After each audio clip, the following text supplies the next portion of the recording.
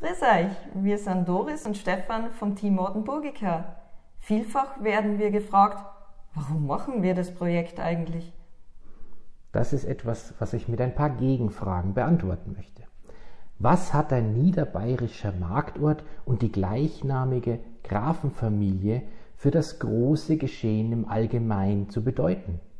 Weshalb wird über Ortenburg in bayerischen, ja sogar schottischen Schulen unterrichtet? Und warum kennen viele Orte oder Städte in Bayern und Österreich den heutigen Markt?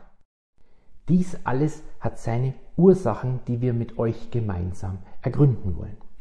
In der Forschung wird seit Jahrzehnten vom Problem Bayern, Wittelsbach und Ortenburg gesprochen. Dieses Problem wollen wir gemeinsam mit euch aufarbeiten. Dazu gehen wir zu heutigen Erinnerungsorten, die wir mit euch wiederfinden und neu entdecken möchten. Seien es tatsächliche Orte, Bauten oder Gegenstände, es sind für uns Kristallisationspunkte langlebiger Ereignisse und Entwicklungen, die identitätsstiftend für uns alle wirken. Diese sind natürlich hier in Ortenburg, in den Gemeindeteilen oder im Umland, aber auch beispielsweise in ganz Bayern, Österreich oder sogar in Italien verstreut.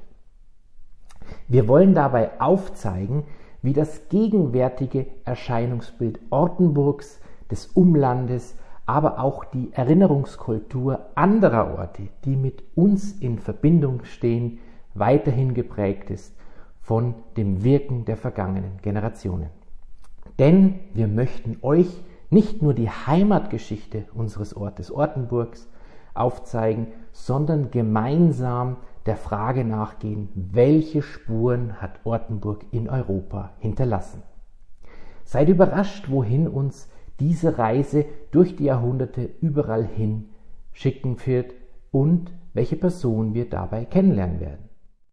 Und ganz nebenbei macht uns das natürlich auch sehr viel Spaß.